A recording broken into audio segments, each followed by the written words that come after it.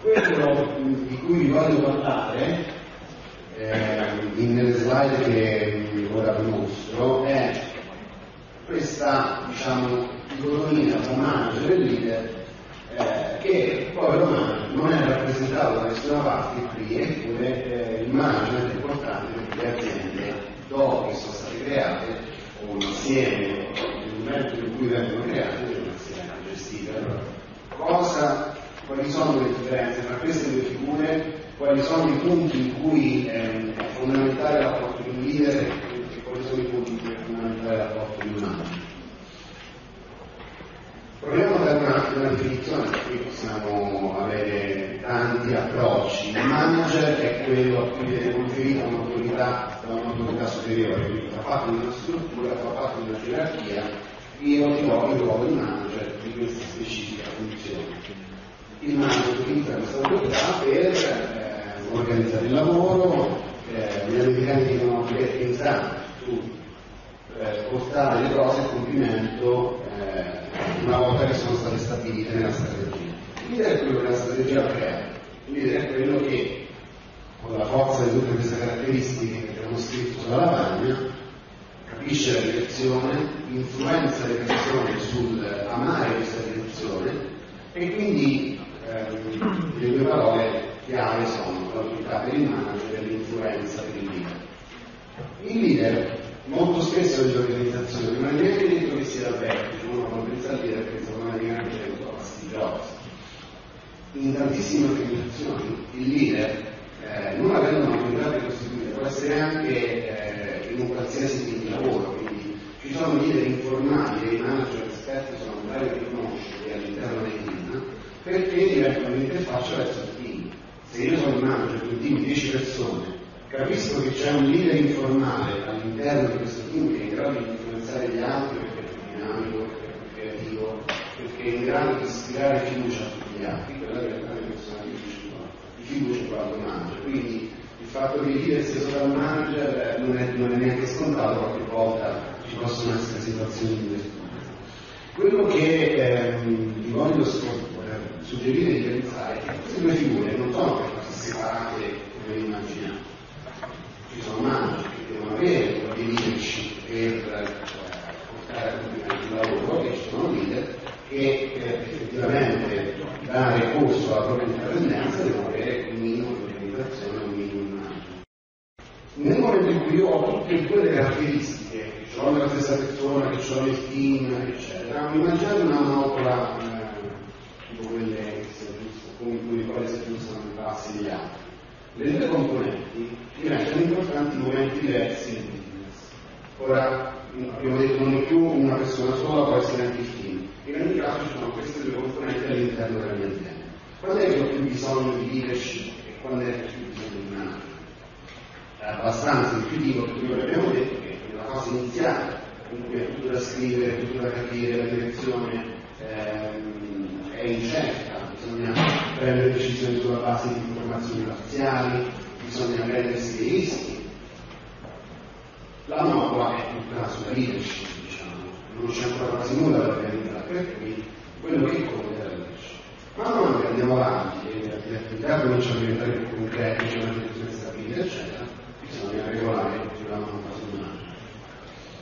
Non è nell'arco di una vita, nell'arco della vita di un'azienda,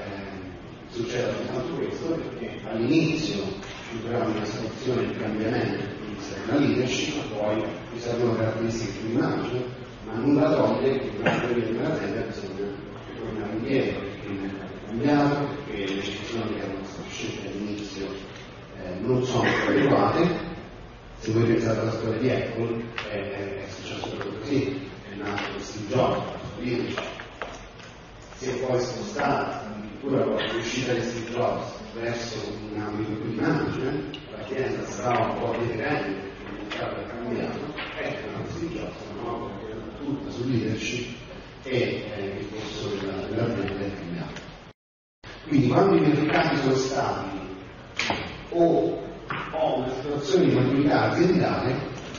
io bisogno del manager, perché il manager mi permette fare le cose in modo efficiente, in termini di in termini di risorse, eh, è tutto quello che rende più efficace un business in generale. Quando invece io ho forte cambiamento del mercato o dell'azienda, la bisogna riunire, il manager non lavora bene in un contesto di forte cambiamento, idealmente, ora questo è un po' estremizzante, però di fronte ad un cambiamento rapido del mercato serve una persona che sa prendere i rischi, che che sappia soprattutto coinvolgere le persone senza un'autorità precostituita. Perché se io ho di fronte una persona che non ha un'autorità formale nei confronti del mio lavoro, per seguirla vuol dire che devo avere una fiducia in lui, devo leggere la visione come la vede lui. Questo grafico è molto interessante, proprio per capire questo aspetto in termini numerici. Questo è l'andamento del, del, valore delle elezioni dalla prima Rio maggio del 1986. Ovviamente all'inizio c'era Gates come CEO dell'azienda, come amministratore delegato, questa linea rossa cade proprio in un periodo abbastanza caldo nel, nell'ambito tecnologico in quegli anni c'è stata la, la Dotton e frenesia degli investimenti nell'ambito dell'elettronica e dell'economy ha mostrato i limiti di un approccio un po' troppo entusiasta e quindi ci sono stati fallimenti delle aziende, investimenti non sono mai entrati e quindi il sapore è soffiato. Gli anni successivi hanno visto un po' una, una rimodulazione, qualcuno dice che oggi ci troviamo in una seconda bolla. Comunque fatto sta che da questo momento in poi il mercato era assolutamente in difficoltà. Non ci dimentichiamo poi che proprio in quegli anni è iniziata la cosa di trust eh, nei confronti di Microsoft per la questione Netscape, se non ricordo male. Cosa dice questo? Dal momento in cui l'azienda nasce, l'azienda è nata anche prima, diciamo, ipotizziamo come istante zero il momento della colazione di la leadership che ha permesso al valore delle azioni di andare su una direzione assolutamente di crescita continua. E come è successo? Prendendo dei rischi, eh, decidendo strategie, tra l'altro anche aggressive, questo lo fa un leader, questo lo fa una persona che capisce e intuisce le esigenze del mercato. Nel momento in cui eh, il mercato è diventato assolutamente più complesso, più ristretto e stabilizzato e scagnante in qualche modo, eh, non era più il momento di prendersi dei rischi e quindi il management, la gestione è passata a un manager Palmer, il quale ha fatto il lavoro che è previsto per un manager. Ci sono delle situazioni difficili, non è più il momento di prendersi dei rischi, è il momento di avere la massima efficienza possibile, la, il massimo abbattimento dei costi e tutto quello che serve per tenere un'azienda a casa mentre decine di altre fallivano eh, molto rapidamente. Quindi il management risolvere problemi complessi, pianificare e controllare il budget, coordinare lo staff, controllare l'esecuzione di task e comunicazioni efficaci. Se uno vuole ricordarsi rapidamente con una parola sola, pensate all'efficacia. Il leader non è certamente efficace, utilizza anche troppe parole per esprimere un concetto perché ha un obiettivo diverso, un obiettivo di influenzare, un obiettivo di dare energia, se leggete la lettura che dicevo prima, indubbiamente un leader eh, utilizza tantissime parole per dire alla fine pochi concetti, ma per imprimerli con un certo livello di influenza. Se invece vogliamo scegliere una parola sola per la leadership, direi forse cambiamento, il leader è quello che riconosce l'esigenza del cambiamento, porta un'azienda verso il cambiamento, porta un'azienda o una persona o un gruppo di persone, poi il leader è un concetto, ora noi lo abbiamo sull'azienda, ma è un concetto tutto sommato ampio. Ispira le persone ed è quello che genera e trasferisce la vita. Ehm, è abbastanza comune trovare questa citazione che non ricordo sinceramente l'autore. Ehm, il manager è quello che fa le cose nel modo giusto, il leader è quello che fa le cose giuste. Ora, capire quale sia la cosa più importante è difficile perché dipende in cui ci troviamo nel, mercato dell'azienda, però è indubbio che eh, sono importanti entrambe le cose, per cui tutte queste caratteristiche che abbiamo detto coprono una parte dell'imprenditore, quindi noi dobbiamo, il messaggio che sto cercando di trasferire è che dobbiamo ehm, strutturare meglio la nostra visione dell'imprenditore e arricchire la visione economica, che ovviamente eh, è utile per, per avere l'energia, perché ci vuole ovviamente l'energia per iniziare una nuova impresa, eh, arricchirla con tutta una serie di caratteristiche che non abbiamo scritto e che ci serviranno perché dovremo stabilire tempistiche che servono per raggiungere i risultati, dovremo gestire lo staff, dovremo delegare le responsabilità. Io sono per esempio, c'è sicuramente qualcuno, se io sono determinato, se io sono incosciente, se io sono spregiudicato, forse sono incosciente sì, avrò difficoltà a delegare, mentre invece delegare le importanti parti del business è una, cosa fondamentale per la crescita, perché se io centro tutto, per esempio non è molto pronunciato,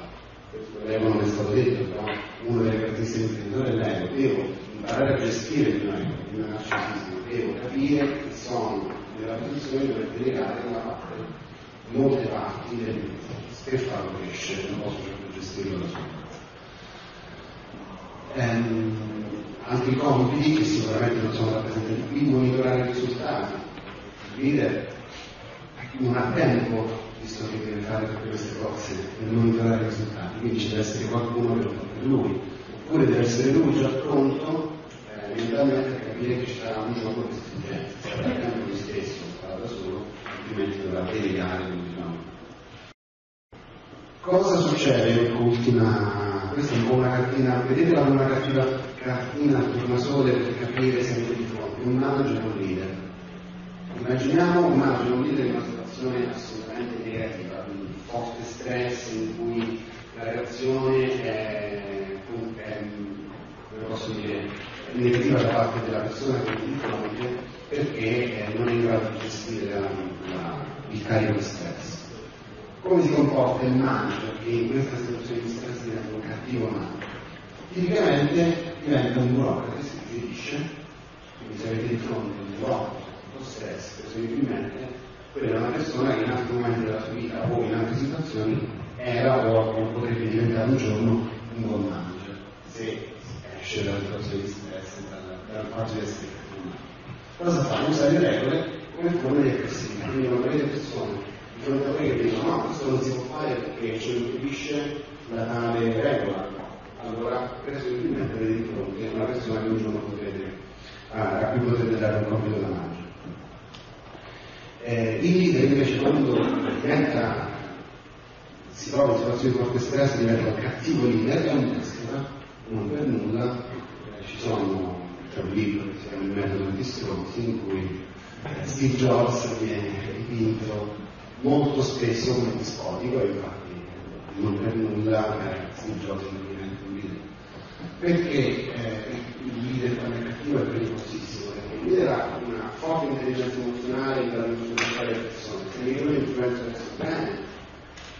siamo tutti contenti, ma dato che io ho questa capacità di influenzare le persone, in qualche modo ho un potere manipolatore nei confronti delle persone, no? Uno che parla della dichiarazione della realtà, il leader è quello che riesce a parlare con le persone e trasferire una visione alterata della realtà e si convince che bisogna andare in una direzione. Eh, non perché eh, sia campanario ovviamente, ma perché la persona normale che vedrebbe la realtà di un certo tipo eh, non vedrebbe quello che leader invece vede, per cui leader deve alterare